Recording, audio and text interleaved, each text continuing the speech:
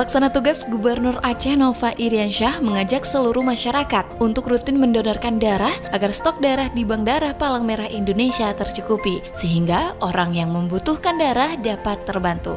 Imbauan tersebut disampaikan oleh PLT Gubernur usai mendonorkan darah bersama Sekretaris Darah Aceh Takwallah dan Wakil Ketua DPRA Hendra Budian di Palang Merah Indonesia Kota Banda Aceh, Rabu 27 Mei 2020 sore. Assalamualaikum warahmatullahi wabarakatuh. Setetes darah kita adalah kehidupan bagi yang lain.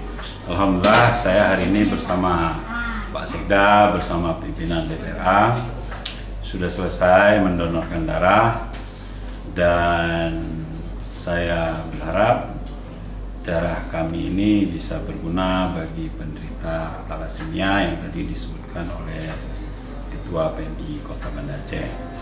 Saya mengajak seluruh masyarakat bagi yang memenuhi syarat untuk berlomba-lomba mendonorkan darahnya karena dengan donor darah kita sehat dan yang lain mendapatkan kehidupannya. Terima kasih. Assalamualaikum warahmatullahi wabarakatuh.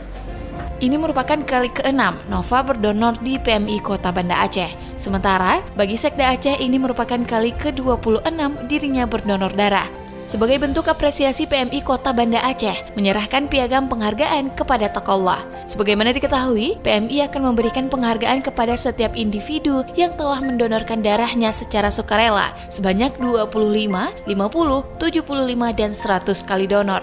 Bahkan, khusus pendonor yang sudah mencapai 100 kali, pemerintah melalui Kementerian Sosial akan memberikan satya lancana kebaktian sosial.